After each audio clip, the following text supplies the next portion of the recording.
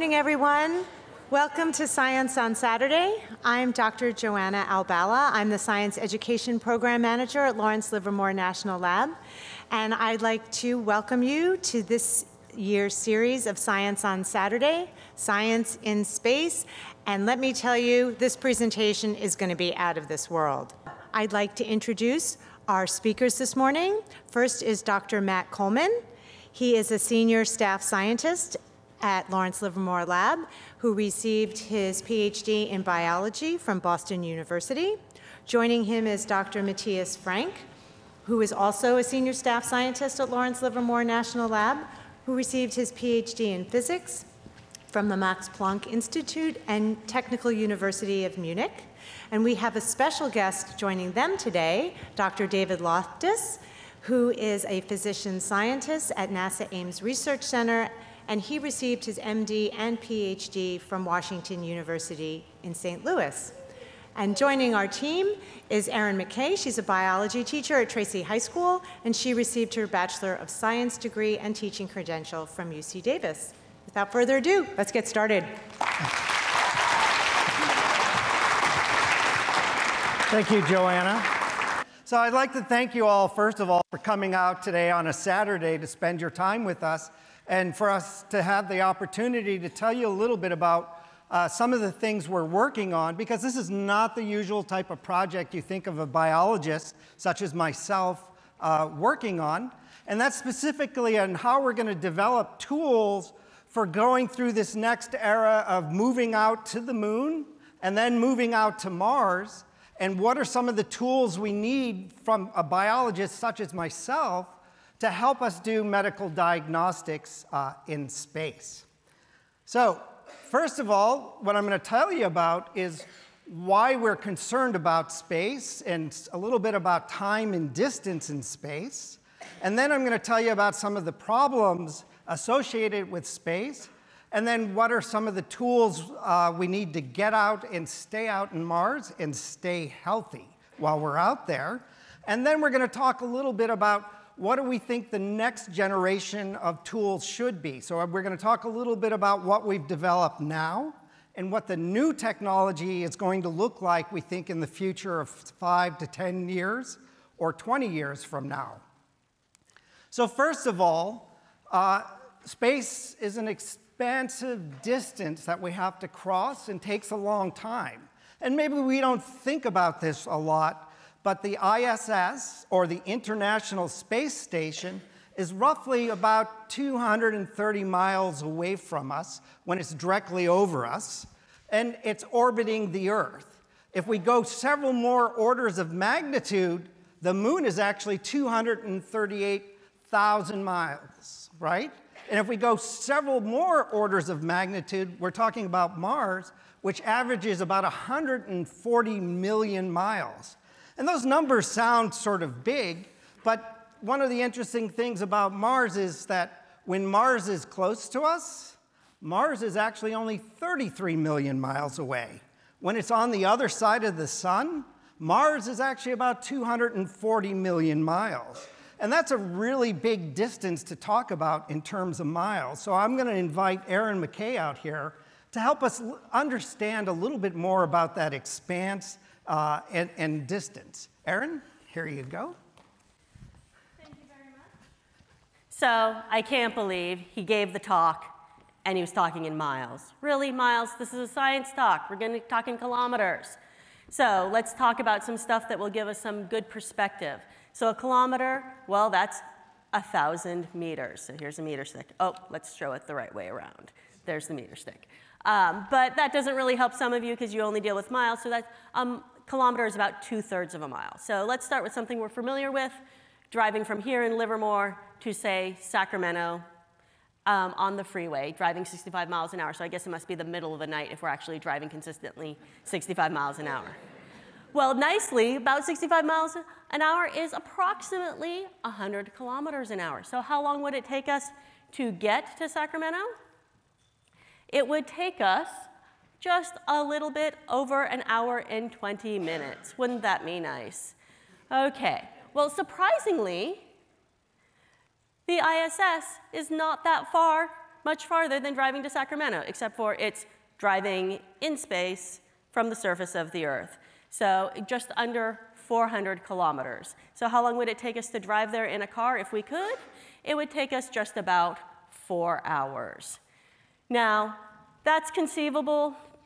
Driving to the moon, on the other hand, that's a little bit longer because now we're driving 400,000 kilometers, and that would take us approximately a half a year. That would be a long time to be in the car.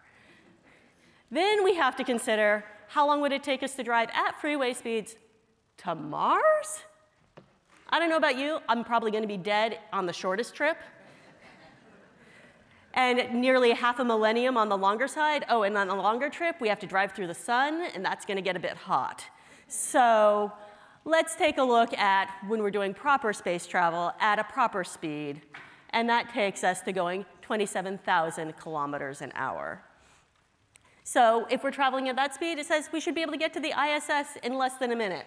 I think it takes a little longer to get to the International Space Station than a minute. Oh, wait, we don't fly in a straight line. The trajectory is not in a straight line, and you don't want to dock at the ISS traveling at 27,000 kilometers an hour. Not going to be a good idea. It really takes about two days.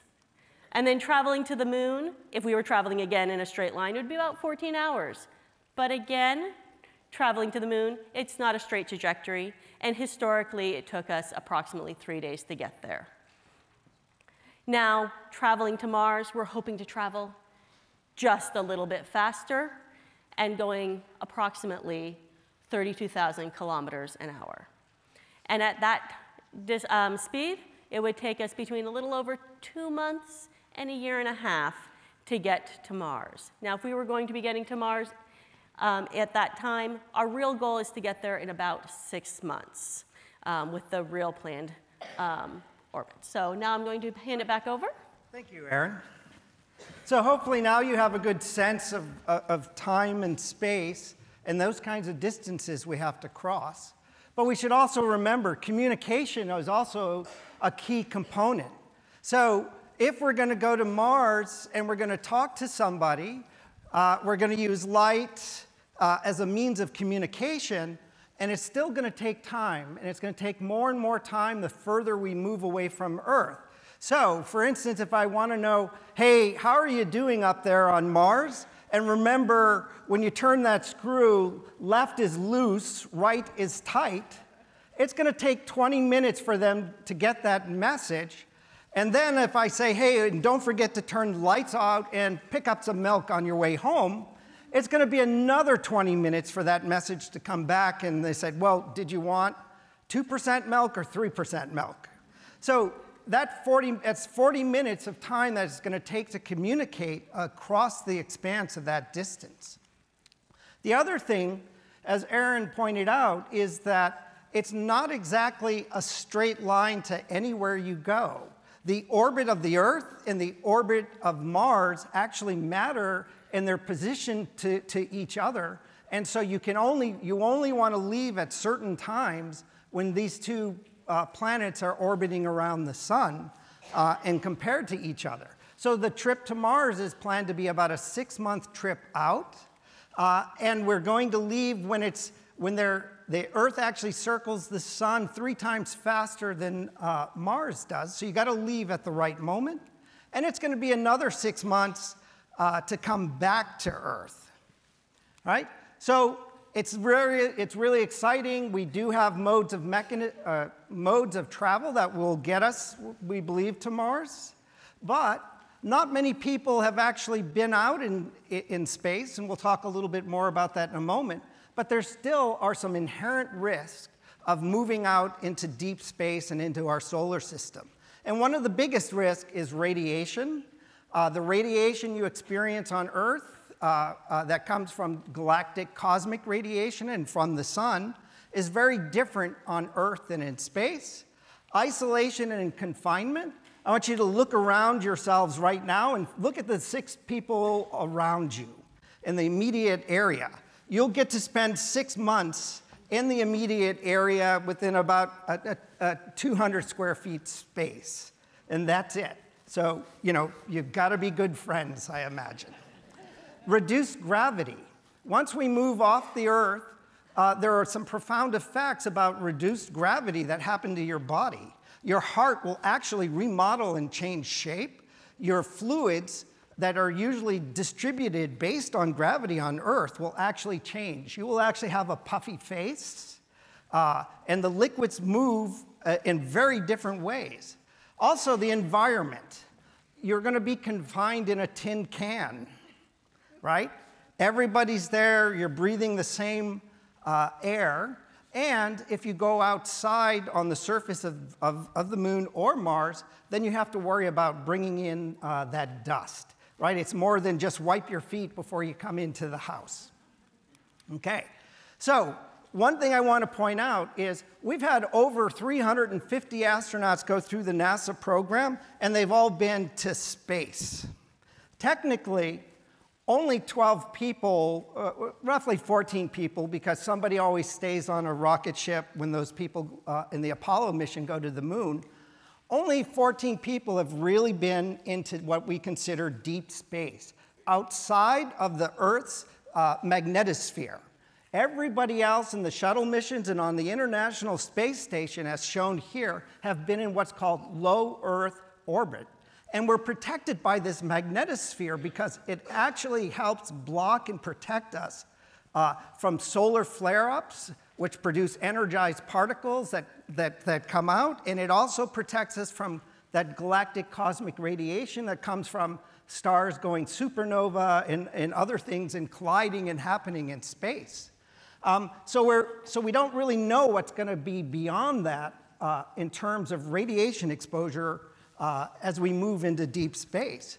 And radiation is a concern because it actually can break our DNA. And my cartoon here is to illustrate you, to you with all these different colors is your normal DNA. When the radiation hits the DNA, it actually has enough energy to break the bonds in your DNA and split that DNA into two pieces. Those two pieces actually get repaired by uh, molecular machines in your body that are called DNA repair proteins. But sometimes those DNA repair proteins can actually make a mistake and cause a mutation. And I show you one of the little color bars is actually a light green because there was a mutation the one time it happened. And I am also showing you an example of cells that get irradiated and non irradiated because we can actually look at these DNA repair breaks happening in real time in the laboratory. And what I'm showing you on the top in blue is the, is, is the nucleus of a cell that gets irradiated or non irradiated. So in the top, it's, it's pretty much all blue because it's not irradiated. When it's on the bottom, you see these little bright green dots. I have a, a technique of fluorescently labeling the DNA repair proteins that all move into the place to fix that break in the DNA. So if you don't fix the DNA break correctly, you get a mutation. The more mutations you pick up, the more likely you are to have something go wrong in the cell, and that can lead to uh, mutations that accumulate and give you cancer in the end. So there is a long term risk of more radiation exposure you get, the higher the risk is to get and, and have cancer. So, so cancer is a long-term risk, and I don't know if everybody's following the news um, or, or, or that you're even aware. Actually, astronauts get sick in space all the time. They get bumps and they get bruises, um, and things, things do actually happen. Uh, so, first of all, dizziness and eye problems. Over 50% of all the astronauts uh, uh, have a problem with nausea and with vision. And most of that is caused because of that change in microgravity that I told you about in that fluid shift. But they do get kidney stones. There have been problems with their respiratory system, infections, uh, GI tract and stomach problems, and blood clots. And if you've been following the news recently, uh, astronaut on the ISS had a blood clot. It was uh, diagnosed on the station. They talked to the medical people on Earth. On one of the next missions up to space, they actually put in medicine so that they could actually fix the problem. Now, we talked about this time and, and distance and expanse of space. So, can you imagine getting that blood clot on your way to Mars? Right? Medical, and if it became more serious, you're not going to be able to come back home. It has to be fixed and it has to be diagnosed uh, in space on your way. There's no coming back. On the ISS, does anybody have an idea of within how long you can be back on Earth and in the hospital? Within 24 hours, you can be back in, uh, uh, on the planet, in the United States, and in a hospital from the ISS. Uh, from the moon, it might take you roughly that full amount of time, but uh, uh, it can be done. So, what we're going to talk about are some of the tools that we're developing to help understand uh, how healthy you are, to help keep you healthy, and then when there's a problem, uh, that we can quickly diagnose it and then move on to fixing that medical condition. So, to talk about what's currently done and what's available on the ISS and where we're moving, I'm going to invite a NASA medical officer, uh, Dr. Loftus, out to talk to you. Thank you, Matt. Good morning, everybody. So, as a NASA medical officer, I want to talk to you a little bit about some of the ways that NASA approaches medical problems in space.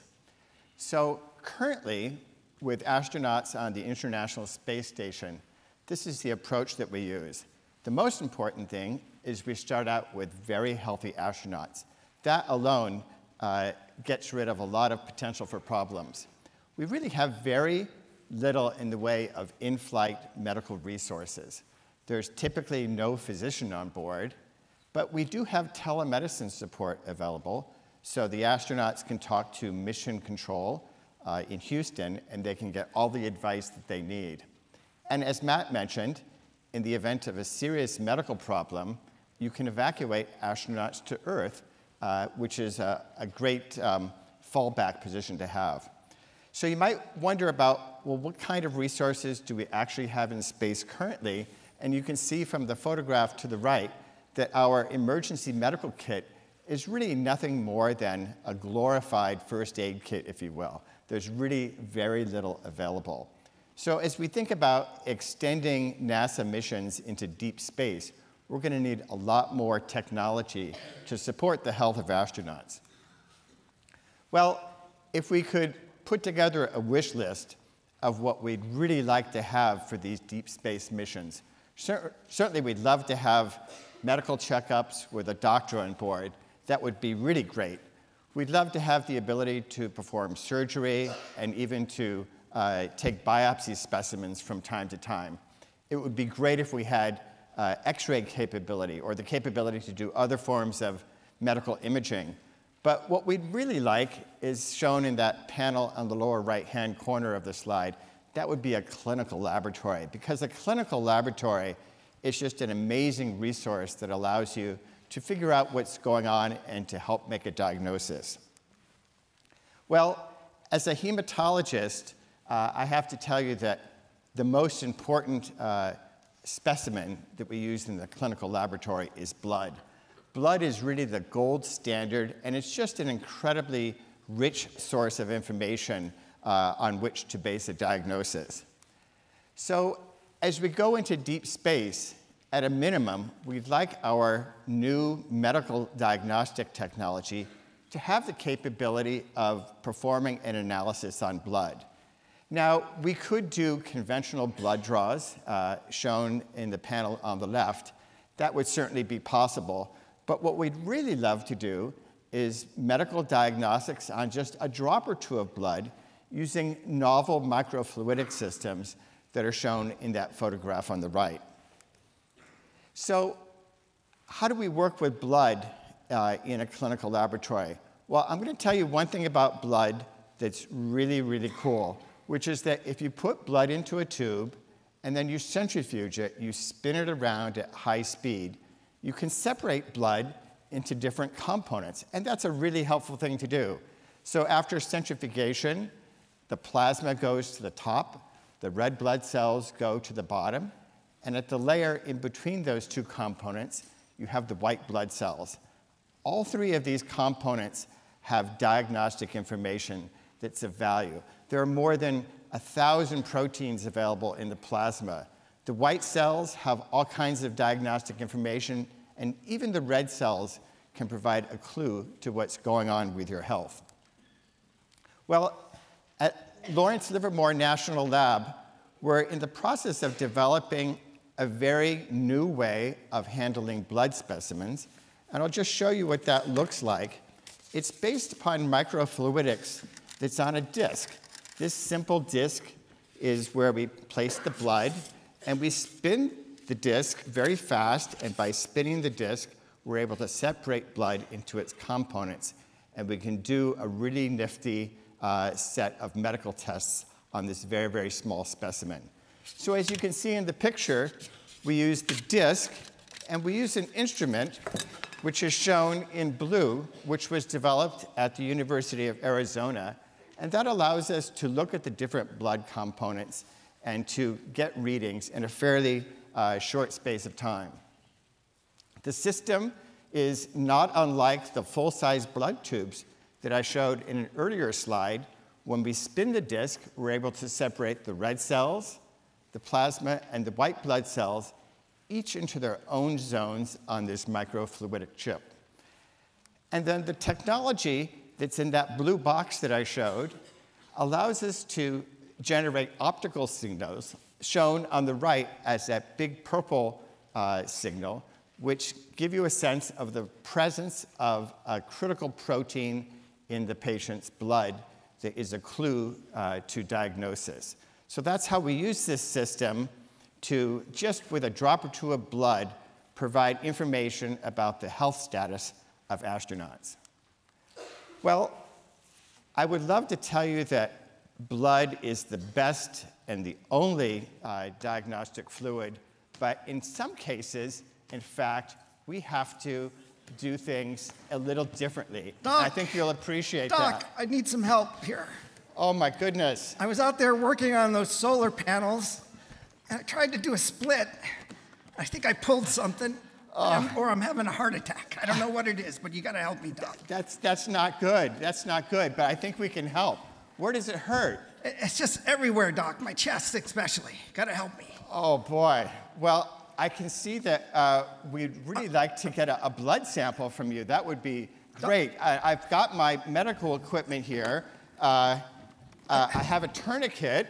Uh, we could use that, and I have this uh, lovely Doc, syringe Doc, and needle. You're going to put the tourniquet on my tongue? Oh, I guess that's not going to work. It's going to take me 30 minutes to get I guess out of that's this not going to work. Well, can you take off this, the spacesuit? Could you do that?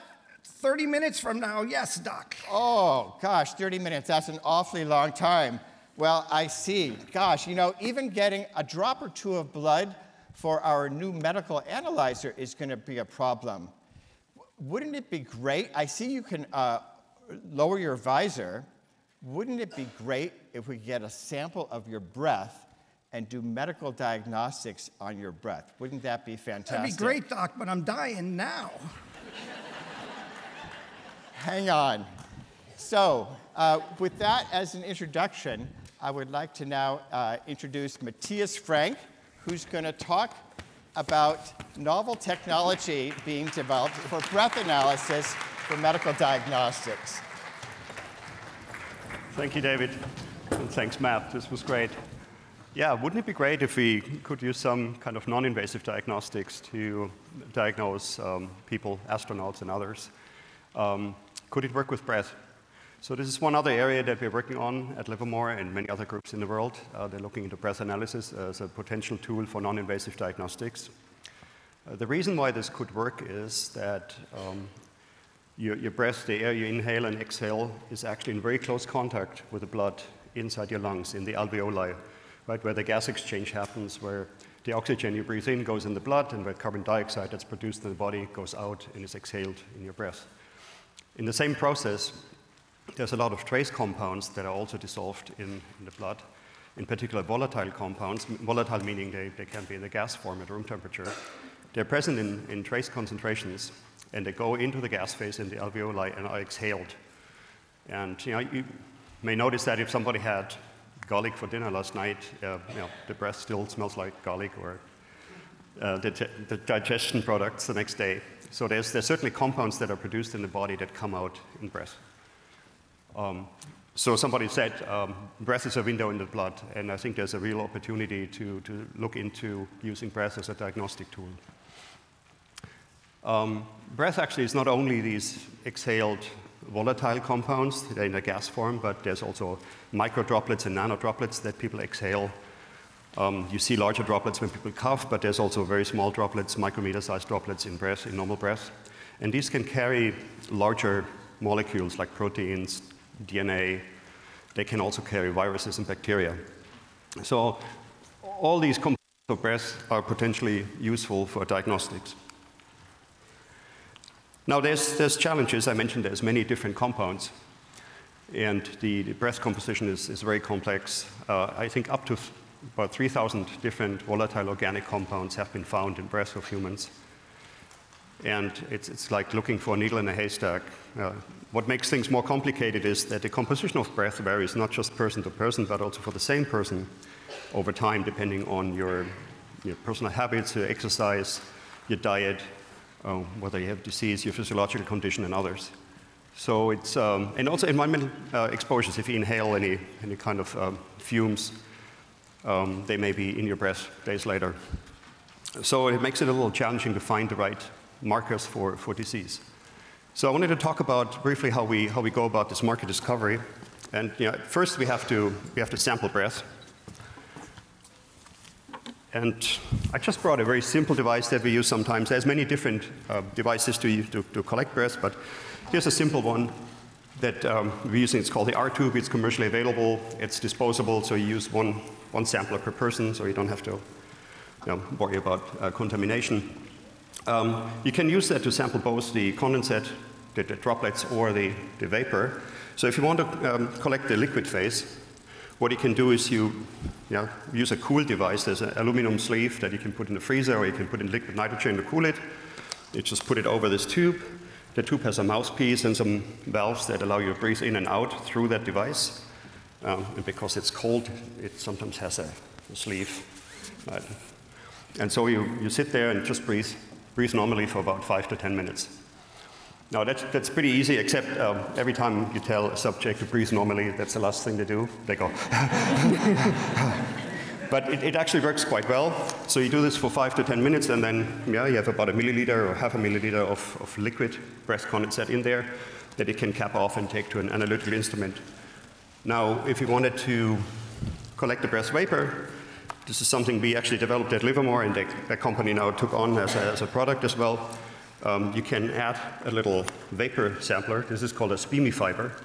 And what it is is a little device that's you know, the size of a pen. If you push this plunger, there's a little syringe coming out, and inside the syringe is a little sorbent material fiber that you can push out, and that um, shown on the, on the picture back there, you know, SPME fiber, that actually collects these volatile compounds. They adsorb on that, on that fiber, and you can pull that back into the device and take that to an instrument to do the analysis. Thank you. So that's the easy part, relatively. I should say, um, yeah, I mentioned there's many different types of samplers people have developed. If you're concerned of um, you know, collecting just a certain type of breath, right? if you breathe into this thing, you collect the entire, entire breath. But some of the compounds that are in your breath might actually be contaminated with what's in your mouth. So if people want to just see what really comes out of the lung, they take usually the, the middle part of the breath. There's some devices that are a little more complicated that just collect the, the middle part of the breath. So then you take um, your liquid sample or your SPME fiber sample to, um, to a lab, and you can put an instrument. And shown here is uh, our graduate student, Kristen Reese. She's at Michigan State University doing her thesis work at Livermore Lab um, with us, uh, operating a, what's called a GCMS instrument. And this instrument takes that fiber sample, uh, the volatile compounds that are on that fiber, and sends them through some analysis chain where they get separated the compounds get separated and analyzed by mass spectrometry. And outcome, uh, outcome and data, uh, what's shown on the left side, are chromatograms or data from breath samples. Each color is a different sample. These samples were actually taken from the same person over the course of a few days. And what you see is that you know, these, these, each one of these peaks, even the little ones, are compounds, volatile organic compounds. what you see is that overall the composition is, is relatively similar for this person, but then there's little, little differences in between. Um, and, and you know, in this case, there were probably just these, these normal variations that I talked about. But if you do an experiment where you look for some disease markers, you, know, you want to pay attention to some of these differences between uh, people. Uh, you can do the same thing with a liquid, and I'm not showing it here. There's another instrument called LCMS that does a liquid analysis, um, and you get similar kind of data out. So I mentioned the needle in a haystack. Um, yeah, there's many, many compounds that are always there, and they vary up and down. What you have to do if you try to find markers for disease, you basically do an experiment where you have a whole bunch of people who have a, a condition, are sick, and you have a control group that are healthy.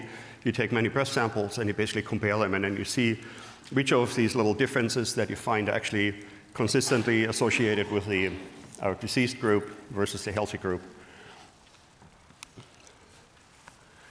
What's very interesting about breath analysis is it's not limited to respiratory disease. So you think, yeah, because it's breath, it's all kind of lung, lung-related uh, diseases. It's actually sensitive to systemic effects. And I mentioned this gas, this exchange between the compounds in blood and the, the compounds in the exhaled air.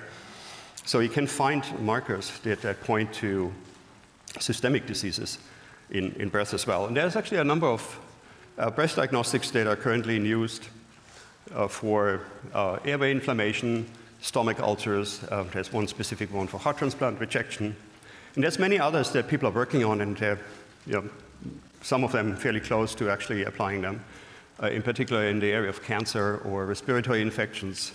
Um, what we also need to work on for, for space travel, you know, to study the effects of reduced gravity, bone loss uh, can be detected in early markers for that in breath, um, and in particular the effects of radiation. So as we um, move breath diagnostics into space, um, you saw that you know, how we do the, the marker discovery experiments using lab-based instrumentation, the big instruments. Um, they're certainly too big and too heavy to take into space.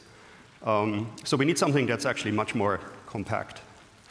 And this is where other instrumentation comes in that's currently under development uh, in various places, including NASA, NASA Ames. It's called the eNose. What is an eNose? Well, before we talk about an eNose, let's talk about a nose first. So what's a nose? Human nose.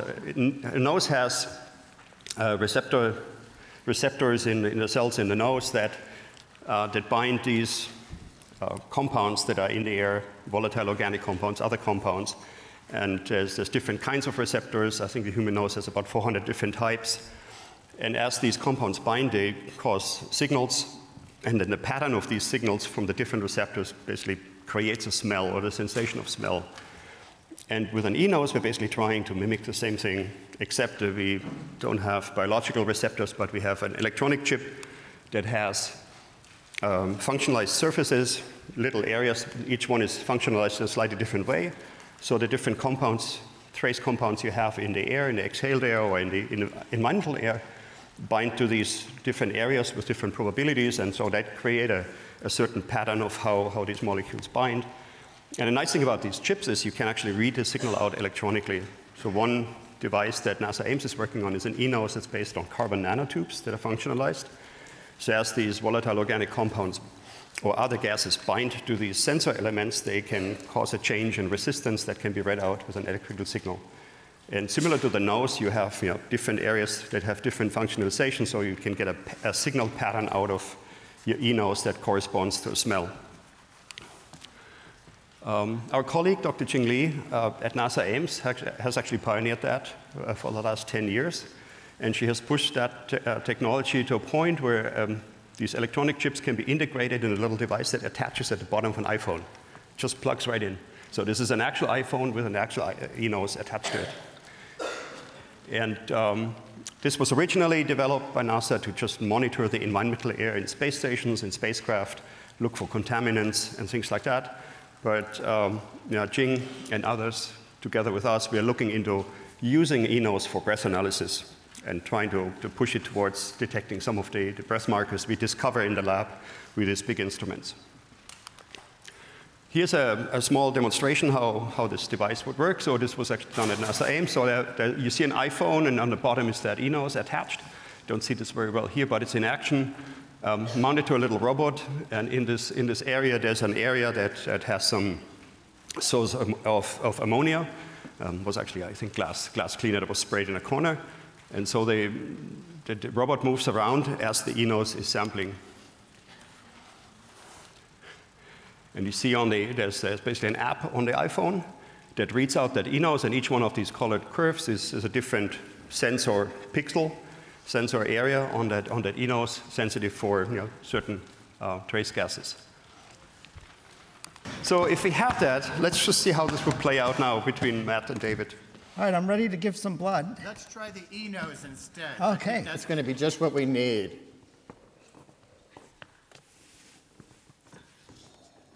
You're not having a heart attack. Oh, that's great, Doc. That's great. Where do I get one of these now? Well, it's not available for human use yet. We're working on it. okay. All right. Sorry, we have to work on it.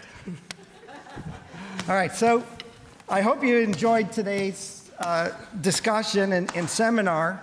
Um, and you get a little bit of a feeling for some of the technologies that we're actually working on for NASA. Um, and so, one of the goals, though, of course, is to take these two technologies and actually combine them into a single box that actually can be integrated uh, into the rocket ship or even onto an EVA suit, such as uh, the demo suit I'm wearing here.